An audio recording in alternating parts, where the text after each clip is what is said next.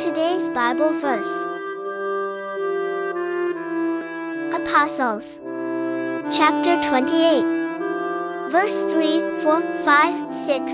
Paul gathered a pile of brushwood and, as he put it on the fire, a viper, driven out by the heat, fastened itself on his hand. When the islanders saw the snake hanging from his hand, they said to each other, This man must be a murderer, for though he escaped from the sea, the goddess Justice has not allowed him to live. But Paul shook the snake off into the fire and suffered no ill effects.